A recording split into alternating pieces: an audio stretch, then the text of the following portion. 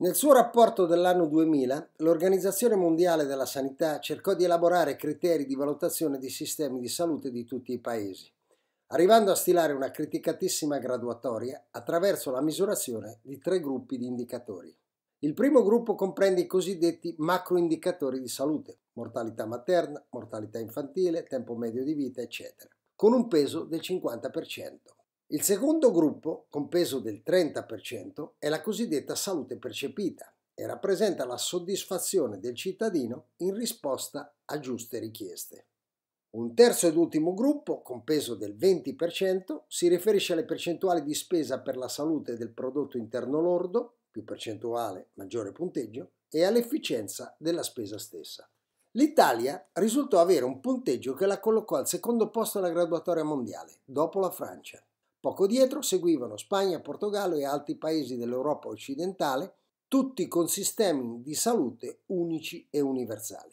Quindi, complessivamente, la più qualificata organizzazione del mondo su temi di salute mostrava un grande rispetto per la qualità del sistema sanitario italiano, anche se segnali di scarsa sostenibilità erano già evidenti e ancor più note fossero le sperequazioni tra nord, centro e sud del paese.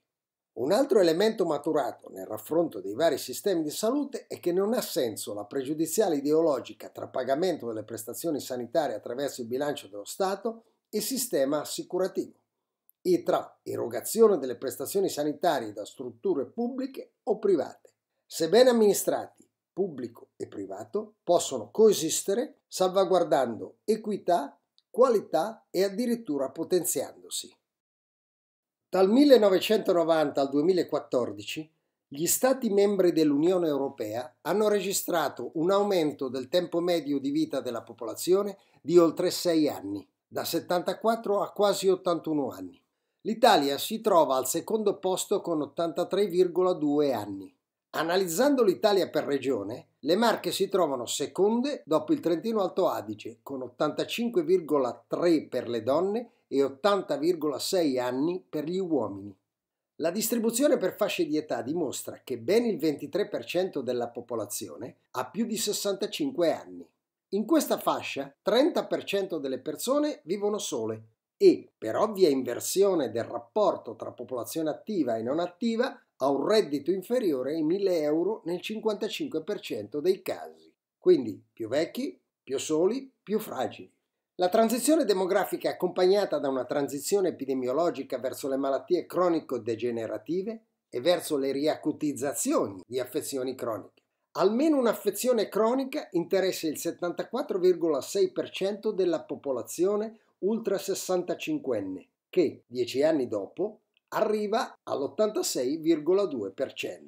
Milioni di italiani sono affetti da malattie cardiovascolari, metaboliche, respiratorie e da tumori. Con l'aumentare dell'età anche il cumulo delle patologie croniche aumenta.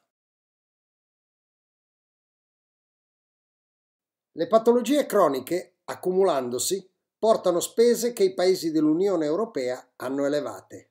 L'Italia, con i suoi 2.227 euro pro capite annui, registrati nel 2015, è inferiore alla media europea, che è di 2.975 euro.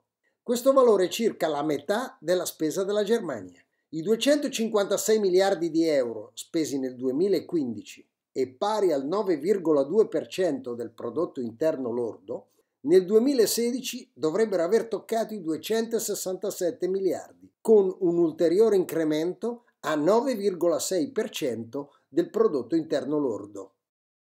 L'accesso a tecnologie di informazione e comunicazione portato modificazioni della domanda di salute, e cioè A. La conoscenza ampia del diritto sulla salute e la richiesta a dismisura di interventi della magistratura per compensazioni di presunti danni subiti dal paziente. B. La conoscenza, spesso di bassa qualità, delle fonti di informazione di Internet, o forse solo male interpretate, che si porta dietro il concetto di consumerismo della salute. C. La pericolosa diffusione delle applicazioni orientate al paziente con spinte all'autocura e conseguenti patologie iatrogene. Si sono verificate dinamiche sui professionisti della salute con riduzione del ricambio generazionale, precariato, formulazione di nuove figure professionali poco flessibili nelle loro funzioni, creazione di gruppi terapeutici e multidisciplinari con potenziale aumento del conflitto e quindi mutati assetti di governo del sistema. L'invasione della tecnologia di informazione e comunicazione nella salute sta imponendo nuove tecniche, cui il curriculum formativo universitario dei professionisti della salute non è stato ancora adattato. Esistono forse corsi obbligatori di salute elettronica, cioè e-health, già a livello dell'ultimo anno di laurea delle facoltà di scienze della salute? Assolutamente no. Tutto è rimandato per di più in forma facoltativa nei corsi master post laurea troppo poco per la rapidità delle trasformazioni in corso. Ugualmente la tecnologia genomica sta portando gli assetti dalla diagnosi e cura alla lettura del genoma e quindi a nuove potenzialità predittive e preventive. L'abbassamento delle colonne verdi che rappresentano la spesa ospedaliera e l'aumento delle colonne arancioni che rappresentano la spesa del distretto sanitario testimoniano lo spostamento in corso delle risorse. Vari provvedimenti legislativi nazionali e regionali hanno portato alla riduzione dei posti letto ospedalieri, non solo in Italia ma in tutti i paesi europei. Nel 2014 la media dei paesi dell'Unione Europea si è attestata sui 5,2 posti letto per mille abitanti. L'Italia, che era già al di sotto della media, ha abbassato ulteriormente a 3,3 posti letto per mille abitanti. Nella tipologia del posto letto ospedaliero, l'Italia è anche in deficit sulla percentuale dei posti letto di riabilitazione e lunga degenza. La Regione Marche ha ridotto i posti letto per acuti di 790 unità, aumentando i posti letto per riabilitazione di 240, con un saldo in negativo di 550, secondo la tendenza prevista e richiesta. Le funzioni dell'ospedale tendono a differenziarsi ampliandosi e specializzandosi, sia nell'ambito della degenza che dei servizi, fino alla teorizzazione dell'ospedale modello concepito dall'architetto Renzo Piano, 18 anni or sono.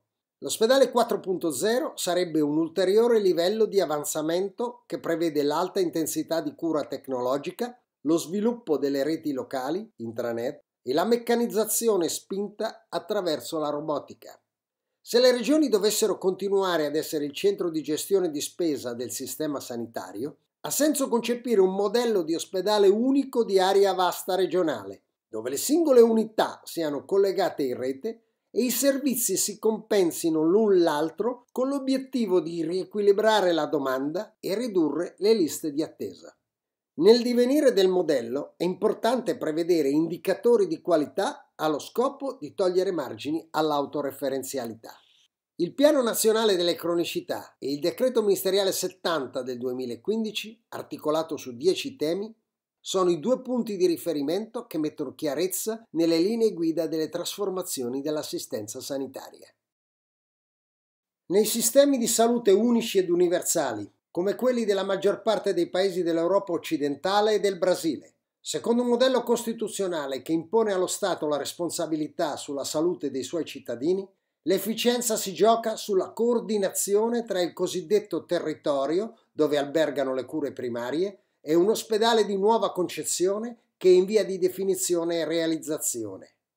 Comunque, in accordo all'Organizzazione Mondiale della Sanità, che è l'unica a conservare una visione planetaria dei sistemi di salute, le cure primarie sono sempre la base essenziale dell'intera galassia dei servizi di salute, sulle quali cure primarie debbono essere poste tutta l'attenzione possibile e le risorse necessarie perché funzionino al meglio.